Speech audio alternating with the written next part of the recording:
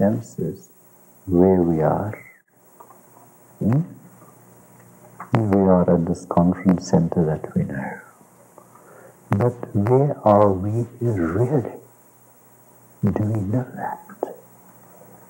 You do not know that until you have been totally integrated uh, and being totally centered, then only can one know where we are. To reach the highest form of meditation is not the destruction of the senses. The senses will remain, but reaching that higher stage, the senses will be guided differently.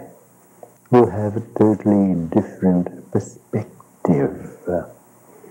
And uh, what it would take away from you is the craving, the mother of all miseries.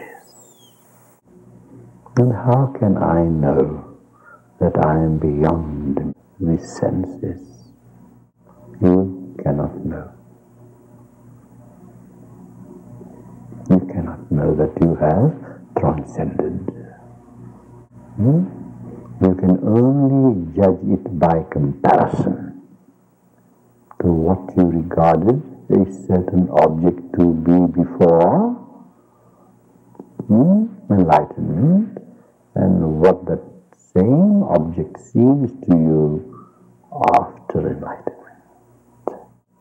Then how can the finite mind ever comprehend that which is? That knowledge hmm, of enlightenment is not confined to the mind because it cannot be confined. It cannot be imprisoned.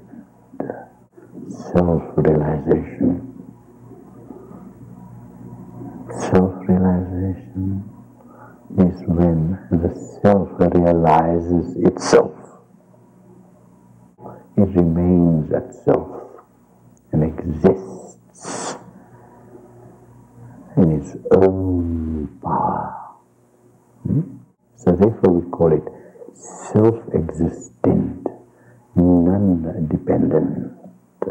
And yet in that non-dependency, you enjoy everything that you've done before in a totally independent way instead of a dependent way. Hmm? That existence experiences itself. There is no outside experiencer to judge it, to say that I am self-realized. There's no outside power to tell you that you are realized. Your measure could only be that calmness, that laughter bubbling in you by the cup that flows over. Hmm? And when you observe these things, you will know Hmm? that you are existing in existence by existence itself. Do you see? To that energy that is forever neutral is just there. And in stillness, it has its functions of making you live, making your senses do the things it wants to do. Hmm? But when we create blockages by our senses, hmm, by our rationalizations, by our minds, then the energy finds blockages and it is not given full vent to act on its own and be itself. Hmm? That is being. the source of yourself. So the whole spiritual path is for one to remove the obstacles of the mind. Hmm? Not destroy the obstacles, but to remove them from your path and push them aside. So there is no destruction at all. Everything is eternal. Nothing is ever destroyed.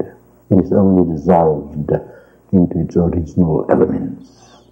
Hmm? But the energy is still there. Hmm? And that energy exists by itself.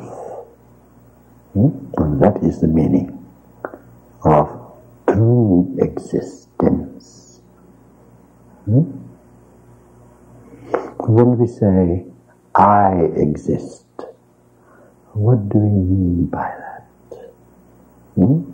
We can say, I exist because your mind is functioning and your mind recognizes the various functionings that is within yourself and outside yourself, which all put together boils down to the ego self, and the ego says, I exist.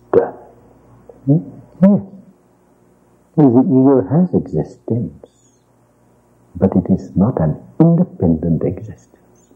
It still has to rely on an outside energy for it to function. Hmm? What happens here is that the manifestation which we are and that which we call existence, the manifestation merges into the manifest. Hmm? And then the real joy comes of being.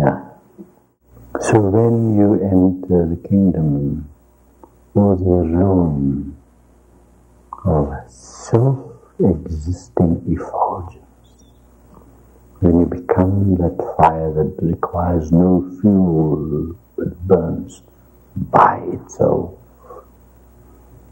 then you have transcended the mind, the ego, the senses, and yet in possession of them. But it will be used wisely in the name of divinity. It will be an offering. Mm. An offering to divinity. You offer yourself to divinity. And when you have offering, there's no suffering.